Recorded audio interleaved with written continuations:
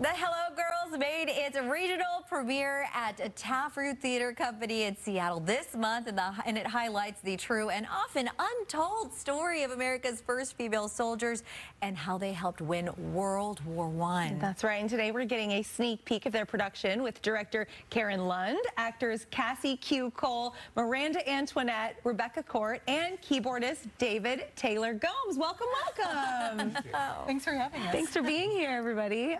Amazing amazing yeah. costume. Yeah, we were just saying, we're big fans of the costumes. Yeah. Okay, so uh, Karen, this is a story that isn't always taught in schools. We were just talking about this, which is just terrible, but this is an amazing opportunity for people to learn, uh, you know, the Hello Girls and what is so special about this production. Oh, I have to tell you, my father was a, a, military history teacher, and I had never heard this story before. And beyond that, my mother was uh, the president of the National Organization for Women in Missouri, the Missouri chapter. And so you would think if anybody would know the story, it'd be somebody like me. Yeah. When this came across my desk, it had the two, my two favorite things, history world history and theater. So I couldn't wonderful. wait to bring it. That's absolutely wonderful. And Cassie, I want to know all about your role in the show and what do you like most about your character? Yes, well, I get to play Grace Banker, who I love that she was a woman far ahead of her time. She was college educated. She had two majors, as you'll find out in the scene we're going to do. Mm -hmm. um, so I love that she that she held that space at such a young age and did something to to pave the way for other women to do the same.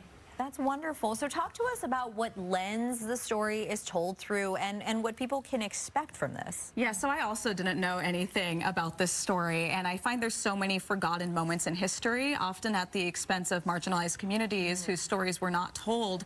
And so it really is a privilege to get to tell this one because it does exist on a time continuum, and this is something that today, what personal calls are you going to answer? Our very first song is Answer the Call, and so uh, that's what I like about telling the story story. Yeah, and you know, something surprising about the Hello Girls, they weren't even actually recognized as U.S. veterans until 1977, but they've made such a huge impact on our country, and even for women and their right to vote. Talk about that a little bit. Oh, yeah, this is one of the most exciting things about this story that I didn't know. It was one of the main reasons they kept women from voting was they said, well, they don't have to put their lives on the line for their country. Mm. Well, the Hello Girls proved that wrong. And so when they came back, very quickly, women uh, have the right to vote. But wow. you were mentioning the fact that they weren't recognized as veterans. This is where it becomes an interesting Seattle story. More than a hmm. dozen of the women, of the 233 women who served in World War I, more than a dozen came from Seattle, Washington, specifically the University of Washington. And when they came back and they fought so hard to get their veterans' rights recognized, they did that here in Seattle. There was a young lawyer named Mark Hough who worked pro bono to make that happen for them. And like you were saying, it didn't happen until 1977. So a lot of hard work right here in Seattle. Beautiful. What yeah. a wonderful piece of history. and we are so excited because we are going to have the opportunity right now for a little preview of one of the songs. So take it away. Suzanne, no, no, you shouldn't call me when we're working. But this is important. What is it? Did you see the ad in the paper today? They want operators to send to France. Who does? The Army, Grace. The U.S. Army. So they want us to train the troops? No, no, no. They want us to be the troops to serve as operators over there. Listen, Suzanne. Grace, you have to do this. Why? Because I'm doing this. Come on, it'll be an adventure. It's war, Suzanne, not a sightseeing expedition. I know. And we all have to do our bit, but girls like us, we aren't cut out for tending victory gardens. How many times have you told me you wished you could be doing something more? I have been known to say that. And you know how I knew this was meant for us? The ad in the paper says you gotta be able to speak French. They need the operators to be able to translate. But I haven't spoken French since college. Didn't you major in French? Actually, I was a double major, French and history. So join the army with me, speak French, and make history. The girl is mad, I'd never be selected. My French is bad, I could fake it. Je peux parler français, no. They'd find me out, and I'm bound to be rejected on the spot. But then just suppose I'm not.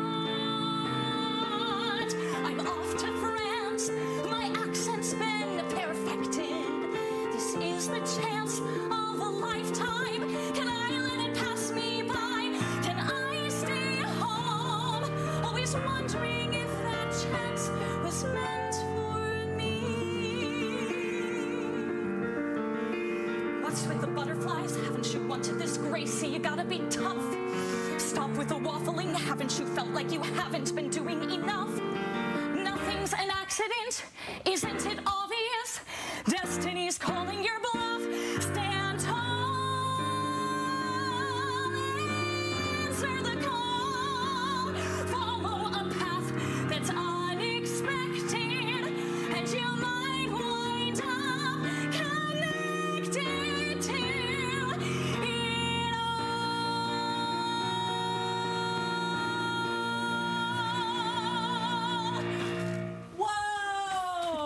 Congratulations! That was incredible! All of you.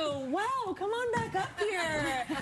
wow, you all are so talented. Incredible. What was your favorite kind of number to perform from this production and what happens in that scene? Oh, well, you will hear a lot of really beautiful, rousing numbers like Connected Yeah. in this show. But my favorite is a very silly and fun, kind of comedic relief type number. Yeah. And it's kind of your first introduction to a very troublesome character. Her name is Louise, and she was a French immigrant to the U.S., and she was only 18 and she lies about her age in order to serve Yeah. uh, and fight for what she believes in. And she sings this song that starts to kind of tear down the rules. And there's a lot of dancing. It's very fun.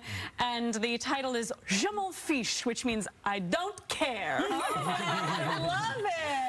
Love it. A rebellious woman. How do you like playing a character like that? Is it so fun? It's very fun. it's very fun. I think I often play like sweet characters, Yeah. so it's fun to play one that um, tears things up a little bit. Yeah, you got to do it. Uh, David, I mean, killing it on the keys over there. Thank you. What would you, how would you kind of describe the rest of the music and the lyrics in this show? And like, how fun is that to perform? Um, well, it's very fun to perform, Yeah. and actually, I just joined the show this week. They have a brilliant music director Michael Nutting, but that Yeah. happens a lot in musical theater. Musicians pop in and out. Yeah. Um, but the music really honors the uh, period with which the story takes place, but it's written so that a contemporary ear will enjoy it. There's lots of what I call ear candy moments. So Yeah. like a lyric that just makes you go, what? Or like um, the harmonies. The harmonies are spectacular, and the cast just they're so tight and clean. Wow, I would never have thought you just joined the crew here. Um, I hear that, you know, the show's doing really well. We're adding some more dates to the calendar. How do people get tickets and how long can people catch the show? Yes, well, that's the exciting news is that we have officially, because it's selling so well, we have officially extended until August 19th. You can catch this show on most nights of the week, and you can find tickets on taproottheater.org. Or You can call the box office at 206 uh, 781 9707. Amazing. Thank you all so much. Thanks for bringing your talent here. Uh, we've posted more info on the Hello Girls and their extended dates up on our website, fox13seattle.com slash Studio 13 Live. Thanks again, y'all. Yeah, thank All you. All right, coming up on Studio 13 Live, you may be wondering where Maria went. Well, we set her up to our weather deck for today's M